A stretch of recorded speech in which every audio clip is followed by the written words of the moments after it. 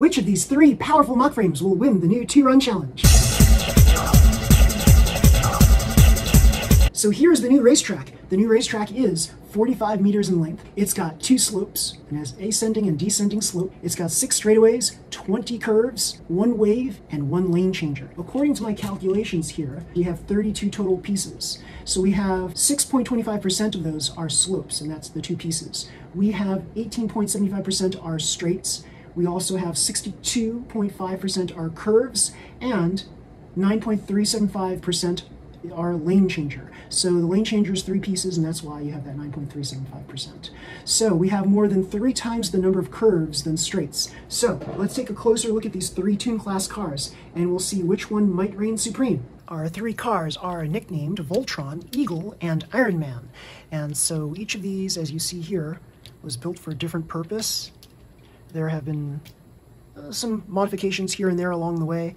Uh, so I can tell you about what they are and why I decided to change the uh, configuration of the car. So here we start off with the first one, Voltron, with the previous configuration of Voltron by including palm burgers on the very top. And I replaced them with these 9mm rollers because I wanted more stability and I wanted them to be a little bit bigger than what they were. So the little palm rollers were fine on relatively flat tracks, but if the tracks had any sorts of jumps or anything like that, then this would be the course out king.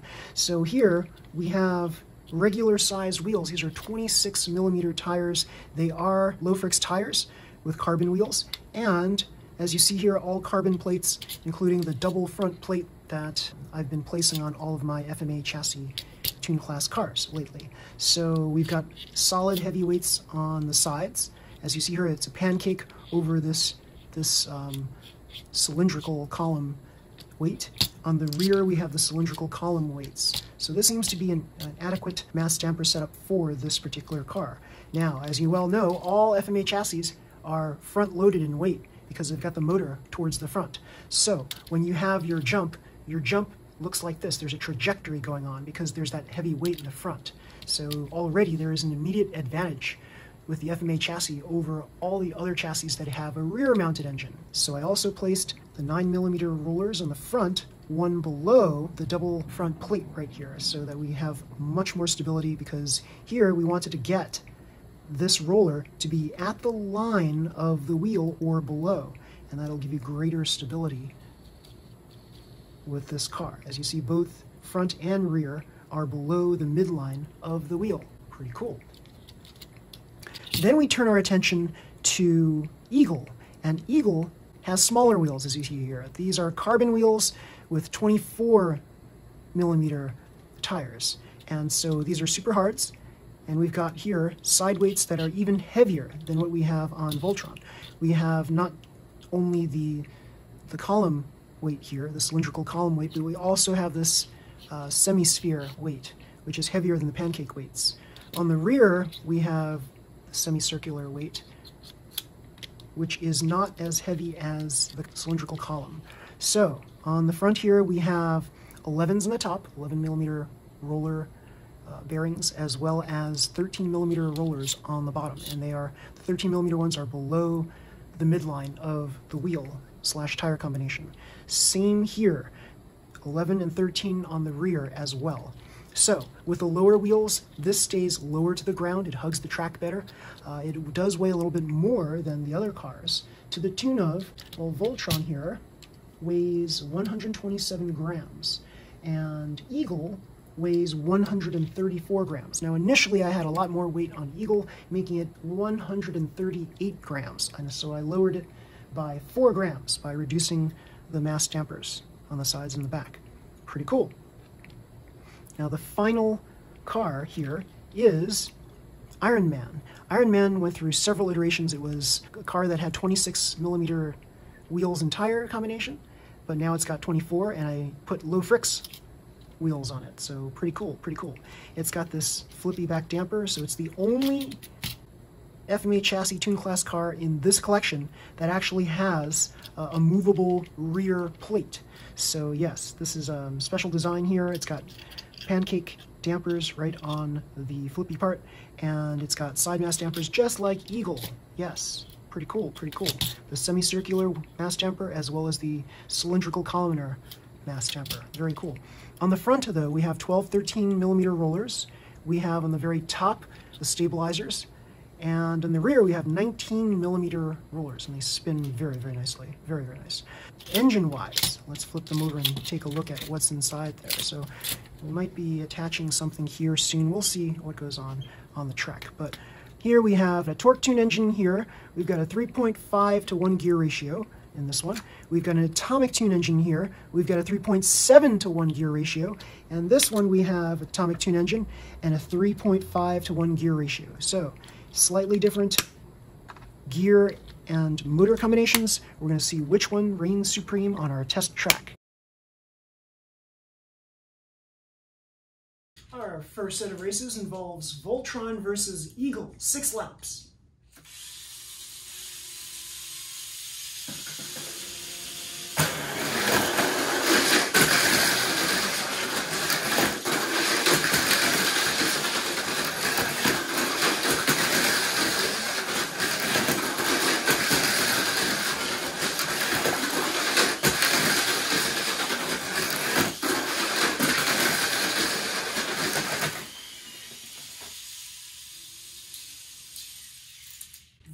The winner. Now, Eagle versus Voltron.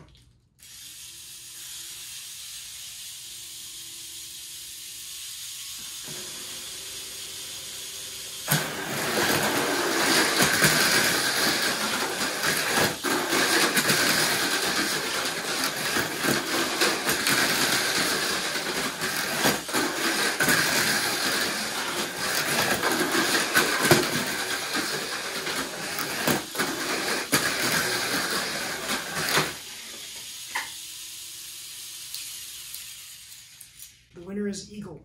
And now we have Voltron versus Iron Man.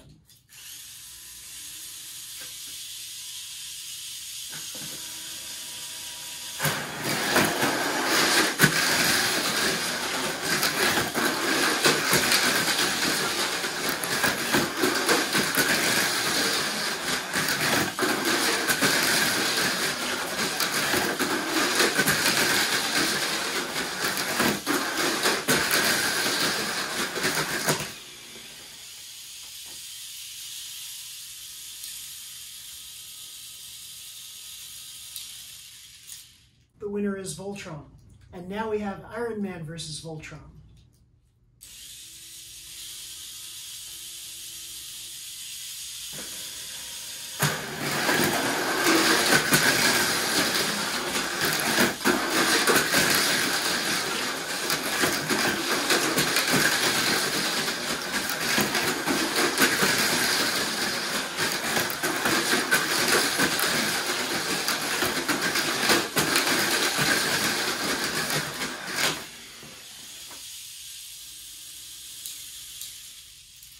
The winner is Voltron. And now we have Eagle versus Iron Man.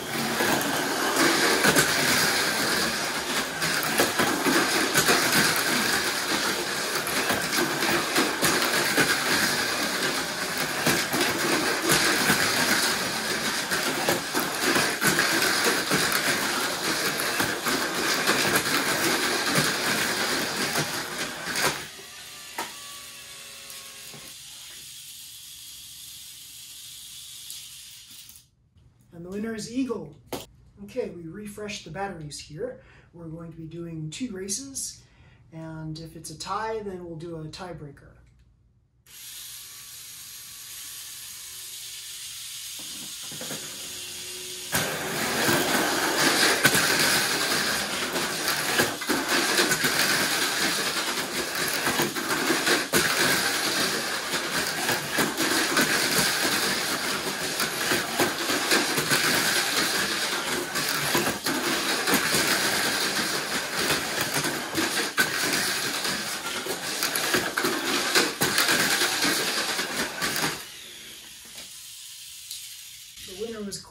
Voltron. And now we're going to swap places. Eagle versus Voltron.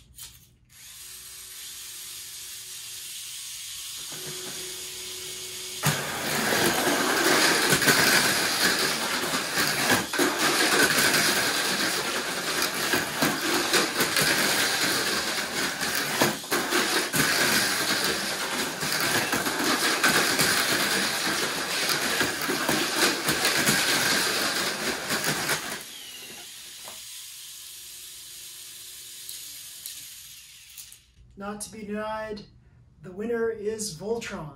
Okay, so let's talk about some post-race analyses. So Iron Man wasn't much of a challenge for either Voltron or Eagle. I think that the flapper mechanism on the back, I may have detrimented it in a way because I swapped out the stiff springs for softer springs. I wanted this to be a much easier to move kind of flapper. And so with the stiffer springs, I never really had much of an issue with this being a very fast car. Now, I did replace the tires on here because I felt that that the wheels and the tire combination, I felt that this would be lower to the ground and hug the track better with this smaller wheel and smaller tire combination. And I was right for a time. I was like testing this and it turned out that the smaller wheels actually helped this to stay on the track more. However, I did have stiffer springs back then, so I may swap them back out and put a stiffer spring suspension back into this whole thing. So yeah, um, I think this is a, still a very fast car. We'll just see what happens in the future. So between Eagle and Voltron, which did I think would win? I honestly thought that Eagle would win because it's a much more stable car. Voltron did course out here and there, so after I would re-race the car, it would still be faster than Eagle. Now, what are some of the reasons why such a car would be faster than this car? So here we go. We've got 3.5 to 1 gear ratio here. We've got a 3.7 to 1 gear ratio here. So very slight difference there, right? But it's enough to make this into a speedier car. So this, as you saw in the races, this ended up being faster, probably because of that gear, but also because of its cornering ability. So here we have here, if you take a look at the rollers in the front, we've got larger rollers on this one. These are more heavy duty 11 millimeter rollers on the top versus the 9 millimeter rollers on the top here. We've got 9s on the top and bottom in the front. We've got the heavy duty 11s and the thinner 13s on the bottom. And on the rear, we've got the same thing on Eagle. On the rear, we've got the same thing as the front for Voltron. So the rollers here are smaller, they're more lighter. Um, and I think that makes this car a little more nimble, but because of the weight difference, this has a greater tendency to course out. So I feel like maybe the back rollers here, they're not going to maintain stability because they're so small. So if you see here, this is great. These two are great for cornering ability because look how close the rollers are to the wheels, right? The rollers are very close to the wheels. They both have similar powered atomic tuned engines, so let's just wipe that out as, as a, a difference. The wheels here are larger, so this is going to go a little faster also because of the wheels and the tire combination. So, cornering speed, which one? This has rollers that are closer to the wheels, this has smaller rollers, so it's almost even. And then we've got bigger wheels here versus here, so this might have an edge. We've got 3.5 to 1 gear ratio versus 3.7 to 1 gear ratio, so this has a little bit of an edge. All these little bits of edges, or bits of edge, allow this car to overtake this car in terms of speed. Now, on different tracks, we might have a different story. So if I changed this to a 3.5 to 1 gear ratio, this might overtake this. So yeah, it's just one of those things where trying to find the proper gear ratio, the tire and wheel combination, the rollers themselves, what types of rollers you have. The best thing to do if you're going to be racing, like seriously, is to just have a bunch of different front plates that you can interchange. So you can remove, say, this front plate and replace it with a different front plate that might have these types of rollers on them, or something else other than these. So having these interchangeable front plates will be very useful come race time because then you can kind of like survey what the track is like and then make fine tune adjustments based on how the track is laid out. And so you can just change the front and the rear rollers to what the track requires. So pretty cool, pretty cool. So yes, this time Voltron was the winner of the two run. Next time, who knows? It might be Eagle, it might be Iron Man. Yeah, pretty cool. So everybody, here are the times for the three cars. We have here Voltron was the leader in the time attack, so six laps, 19.92 seconds. We have here Eagle as the second place winner, 20.12 seconds, and we have Iron Man at 20.47 seconds. Now, remember that these are time attack times for a single car. We don't know how these cars fare against each other when we're racing them side by side. That's why we do these races, so that we can test for vibration control. So that's why we did our different various combinations here. This versus this, this versus this, this versus this. And flipping the first and second track so that we can see which car truly is faster so that there's no lane bias. Pretty cool. So everybody, if you like this video, please slam the like button, subscribe to my channel. You'll see more videos just like this one. Until next time, everybody, see you. Bye.